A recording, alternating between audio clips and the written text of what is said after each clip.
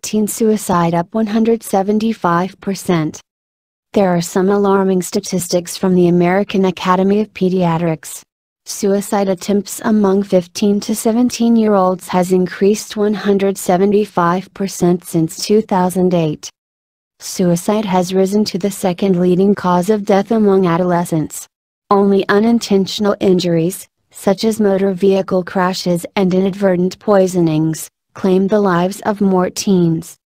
In terms of suicide, an AAP report author, Dr. Benjamin Shain, has stated bullying has always been a major issue for adolescents, but there is now greater recognition of the connection between bullying and suicide.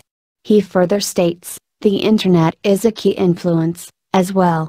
Cyberbullying, for example, is as serious a problem as face to face bullying. Suicide attempts happen mostly during the school season, and not during the summer months.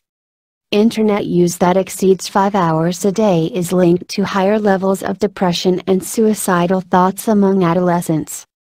Girls comprise nearly two thirds of encounters, but boys die from suicide at a rate three times higher than girls because they tend to choose more lethal methods, such as firearms.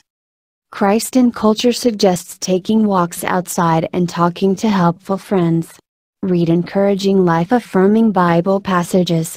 Call a suicide prevention hotline. And seek medical help if need be. This is ChristinCulture.com. I am Cynthia Jones reminding you to be kind to others, and always do the Jesus thing.